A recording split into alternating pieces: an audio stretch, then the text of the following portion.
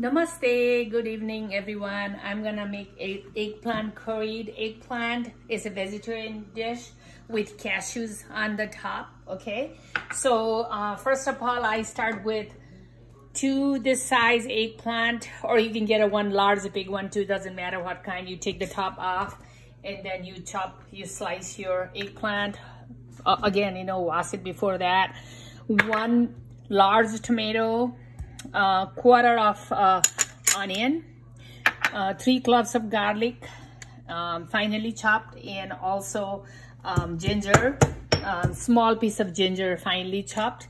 And if you like spicy, I use one habanero pepper here with the ginger together. So the oil is ready. Um, I use extra virgin olive oil, two tablespoon olive oil, and then um, that chopped onion I use that first right there. And then I use the garlic, three cloves of garlic. You kind of stir it together like this. And then other ingredients, um, quarter of a teaspoon of um, turmeric powder. Quarter of a teaspoon of turmeric powder. And um, which is right here, I'm getting it. And you can do this uh, slowly. It, doesn't have to be roasted because I still have to put a, one whole eggplant there because you're going to stew this for a, simmer this for a while. That's that. And then you're going to use, you're going to put your, um, as soon as you put your garlic and onion, you put your ginger and habanero or jalapeno or um, cayenne pepper powder, however you prefer, or black pepper or white pepper is fine too. Um, and then let me rise up the heat a little bit.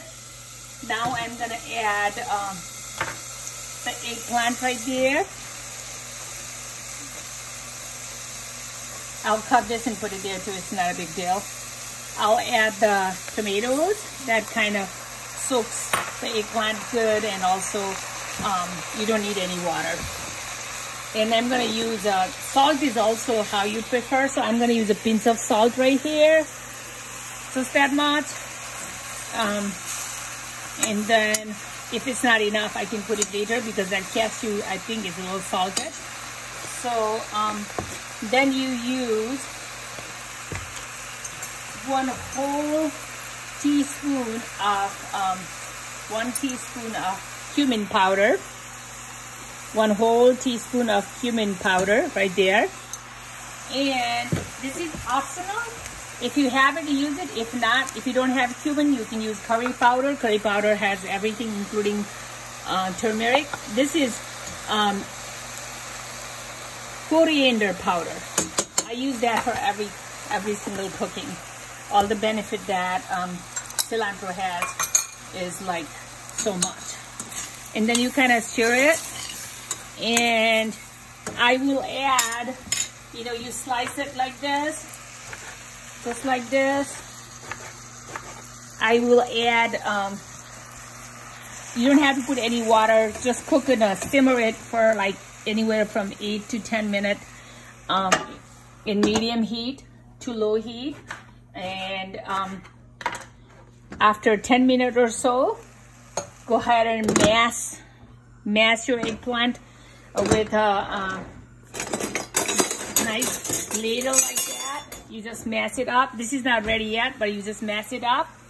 And I have already cooked a batch to share with you. This is how it looks. Towards the end, you garnish with cashews. You can put a cashew and kind of stir it, and you can put some in the top also. It doesn't look good, but it, like color-wise, it is yummy. And this is such a good vegetarian dish you can eat with naan um, this naan or you can eat with rice, noodle, however you like it. It's a gravy. Thank you.